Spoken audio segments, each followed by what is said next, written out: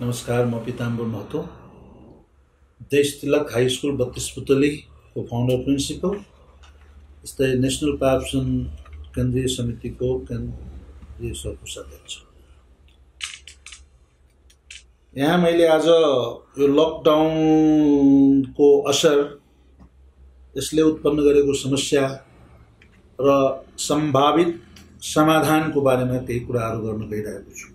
दर्शकबिन आज जस्तो कि यहाँहरूलाई विदितै छ लकडाउनले अहिले उद्योग व्यवसाय व्यापार यातायात हरेक क्षेत्रमा यसको एकदमै नकारात्मक असर परेको छ। सबै कारोबार चाहिँ ठप्प छन् अस्तव्यस्त छ।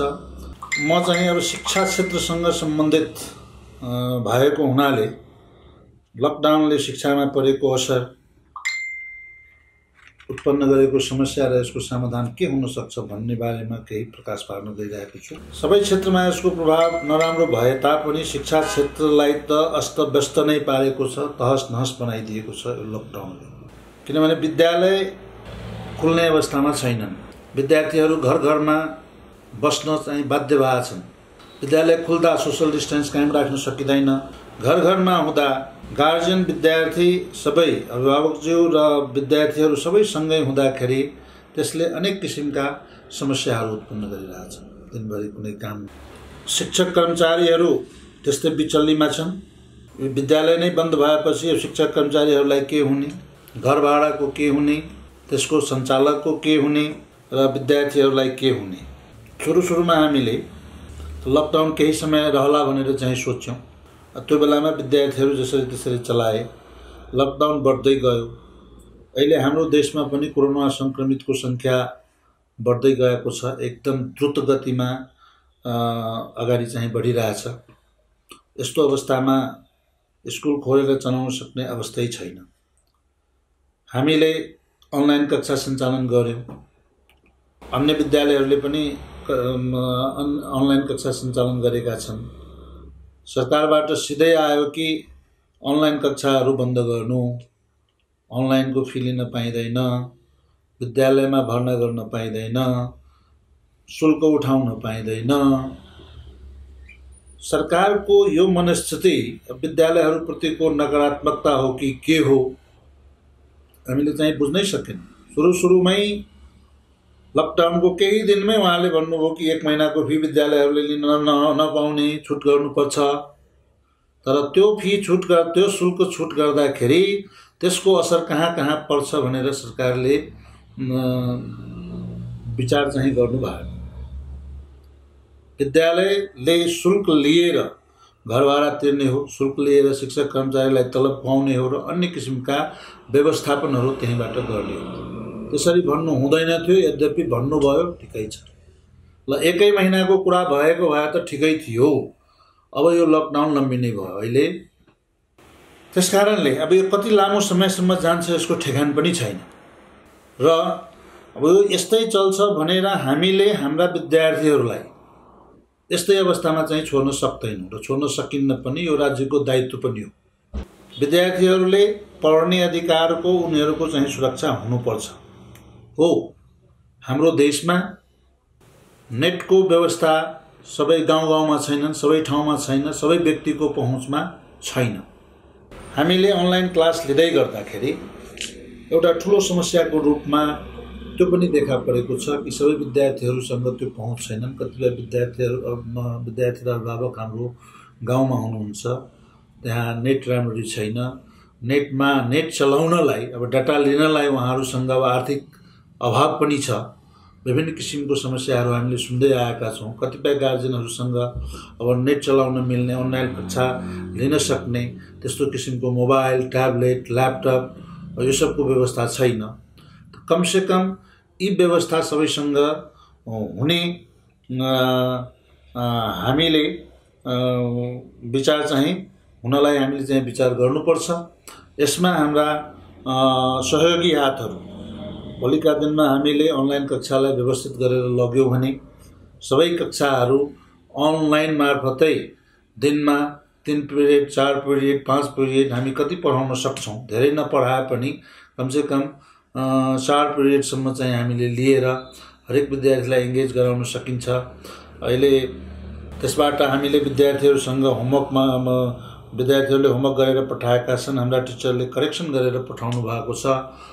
सिकाइको प्रक्रिया हेर्दाखेरि जसरी विद्यार्थीले विद्यालयमा चाहिँ विद्यालय आएर चाहिँ सिक्थे त्यसरी त्यहाँ पनि सिक्न सक्षम भइरहेका छन् अझै सिकाइ भन्ने हो भने गार्जेन र विद्यार्थीको कतिपयको फिडब्याक लिँदाखेरि सिकाइ राम्रो भएको छ भनेपछि अब समस्या के रह्यो त भन्दाखेरि सबै ठाउँमा नेट छैन सबैको नेट चलाउने त्यो साधन छैन। त यसमा म सबै ठाउँमा नेट हुनका लागि सरकारसँग के आग्रह गर्न चाहन्छु भने हाम्रा देशमा दुई तिनवटा ठुल्ठुला कम्पनीहरू एनसेल एनटिसी स्मार्टफ़ोन यिनीहरूले धेरै धेरै फाइदा कमाएका कम्पनीहरू छन्। अहिले यो सङ्क्रमण कालमा उहाँहरूले कमसेकम विद्यार्थीहरूलाई पढ्नका लागि आफ्नो नेट सेवा चाहिँ विस्तार गरेर गाउँ गाउँमा पुर्याउने ठाउँ ठाउँमा पुर्याउने र पढाइ लेखाइका लागि कमसेकम विद्यार्थीलाई अहिले चाहिँ नेट सेवा नि शुल्क गरिदिनु पर्ने अवस्था मैले चाहिँ देखिरहेको छु। किनभने उहाँहरू धेरै फाइदा कमाउने कम्पनीहरू हुन् र देशै सङ्कटमा भएको बेलामा त्यसमा पनि हाम्रा भविष्यका कर्णधार विद्यार्थीहरूलाई हामी शिक्षाबाट वञ्चित नगराउँ भन्ने उद्देश्यलाई परिपूर्ति गर्नका लागि उहाँहरूबाट के सहयोग हुनसक्छ मैले त नि शुल्कका कुरा गरेँ तर यी कम्पनीहरूले अब विचार गर्नुपर्ने भयो कि जुन जनताबाट उहाँहरूले यति कमाउनुहुन्छ अहिलेको अवस्थामा यी बालबालिका पढाउनलाई उहाँहरूले के गर्न सक्नुहुन्छ? नि शुल्क गरिदियो भने पैसाको कुरो आएन। रह्यो अब सामग्रीका कुरा मोबाइल ट्याब्लेट के अरे ल्यापटप जस्ता अन्य कुराहरू सस्तोमा के चाहिँ गर्न सकिन्छ? जस्तै देशमा सङ्कट भएका बेलामा अहिले खान अभाव भएको ठाउँमा हाम्रा विभिन्न किसिमको चाहिँ साथीहरूले पब्लिकले खाद्यान्नलाई सहयोग गरिराख्नु भएको छ। त्यस्तै यो चलाउँदै जाँदा हामीलाई थाहा हुन्छ यो कतिको पहुँचमा नेट छैन कतिकोमा के छैन। समस्या परेको ठाउँमा विद्यालय आफैले सरकारले र योसँग सम्बन्धित सबै निकायले जो जो हामी हाम हाम्रो देशमा हामी सम्बन्धित छौँ र जो जो सम्पन्न छौँ अहिले किनभने सङ्कटको घडीमा अहिले बच्नु र बचाउनु चाहिँ जरुरी छ। मैले सुन्दै आएको छु टेलिभिजनमा प्रोग्राम हेर्छु विभिन्न किसिमले यसमा चाहिँ छलफल गरिन्छ। तर छलफल के गरिन्छ भने विद्यालय कसरी खोल्ने विद्यालय खोल्ने सोसल डिस्टेन्स धेरै राखेर चाहिँ पढाउने कक्षा कोठाहरू बढाउने अन्य किसिमका कुराहरू गर्ने भन्ने कुराहरू आउँछन्। तर सबभन्दा सहज हुने काम कोरोना सङ्क्रमण फैलिन नदिनलाई यसको महामारीलाई फैलिन नदिनलाई सबभन्दा सजिलो उपाय त के हो भने जो व्यक्ति जहाँ छन् घरमै बसेर उसले सबै सुविधा प्राप्त गर्यो भने शिक्षा चल्यो भने स्वस्थ रहन पायो भने यो सबैलाई राम्रो हुने कुरा हो। यसप्रति चाहिँ सबैको ध्यान आकर्षण होस्। हाम्रा स्कुल सञ्चालक साथीहरू पनि हामी बिचमा पनि छलफल भएको छ र अहिले हामी बिचको पनि निष्कर्ष एउटा के हो भने अहिले यो महामारी फैलिँदै र यसको सङ्क्रमण अझै तीव्र गतिले बढ्दै गएको अवस्थामा अनलाइन कक्षाको भर्चुअल क्लासको कुनै विकल्पै छैन। होइन कुनै यसको विकल्प म चाहिँ चाहिँ देख्दिनँ। किनभने अन्य विकल्पमा फिजिकली प्रेजेन्ट हुनु पर्यो फिजिकल प्रेजेन्ट हुँदाखेरि सोसियल डिस्टेन्स स्कुलमा कायम राख्न सकिँदैन।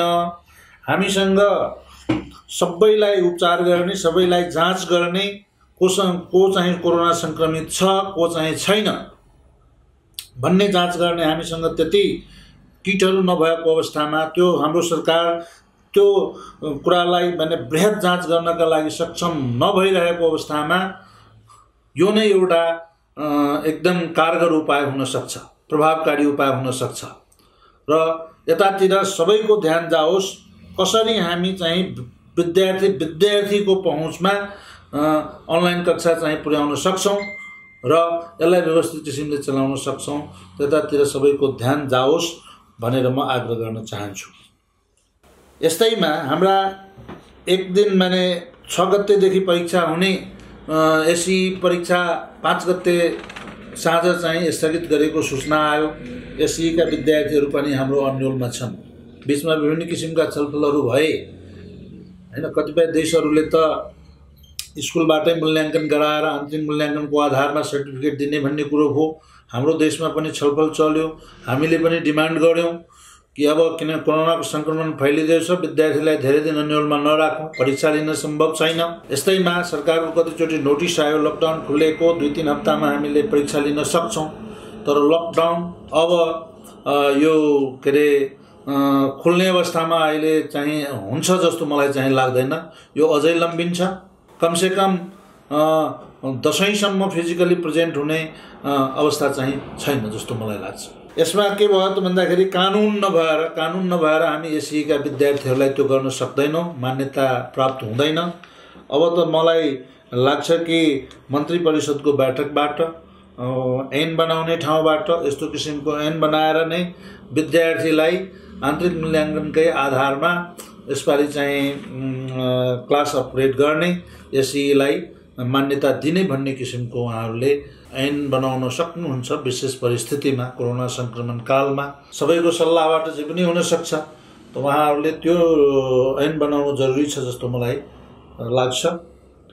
त यो त भए सरकारका कुरा अब उहाँले जे गर्नुहुन्छ उहाँहरूले जस्तो गर्नुहुन्छ त्यही अनुसार हामी चाहिँ चल्नुपर्ने हुन्छ। तर यसो गर्दा चाहिँ राम्रो हुन्छ।